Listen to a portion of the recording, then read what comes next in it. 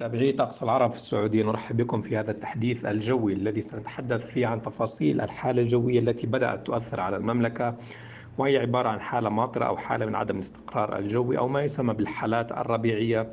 بدأت تتطور تدريجيا خلال ساعات ظهيرة اليوم حيث بحسب صور الأقمار الصناعية توضح انتشار كميات كبيرة من الغيوم العالية والمتوسطة يتخللها بعض الغيوم الركامية خاصة في المرتفعات الجنوبية الغربية وغرب منطقة الرياض حاليا. خلال الساعات القادمة يتوقع أن تتحرك أكثر هذه الغيوم الركامية شرقا باتجاه العاصمة الرياض حيث تؤثر على العاصمة الرياض خلال ساعات المساء والليل على شكل زخات رعدية من الأمطار متفاوتة الشدة ومتفرقة التأثير. خلال نهار يوم غد بإذن الله تشتد حالة عدم الاستقرار الجوي. سنتحدث عن تفاصيل حالة يوم غد بإذن الله خلال التحديثات اللاحقة بإذن الله. إلى اللقاء.